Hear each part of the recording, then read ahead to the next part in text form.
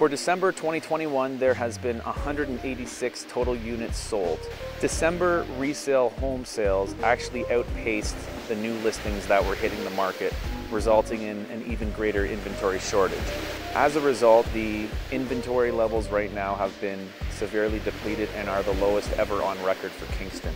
The comprehensive annual average price was $582,494. The dollar value in all of the home sales in December of 2021 was $110.8 million, which actually represents a decrease from last year of about 10.5%. The number of new listings has significantly declined by 30.1% from December of 2020.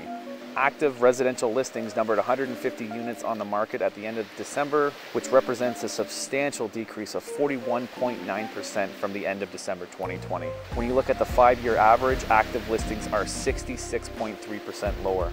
So what does all this data mean? It means that we continue to be in an inventory shortage. These were already things we were talking about last year. The advantage is in the seller's court for selling because there's more buyers competing against each property that comes up for sale.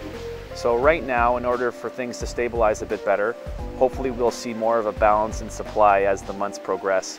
Um, but as of right now, when inventory is this low, expect to continue to see upward pressure on the prices of houses right now.